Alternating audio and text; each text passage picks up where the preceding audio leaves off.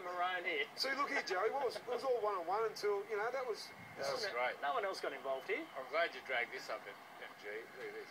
I reckon, uh, actually, Jamie Goddard in his junior, he, he was a junior boxer. He actually He beat was. Manny Pacquiao. It was Golden Gloves champion Cessnock. And what did Tommy Raudonikis say?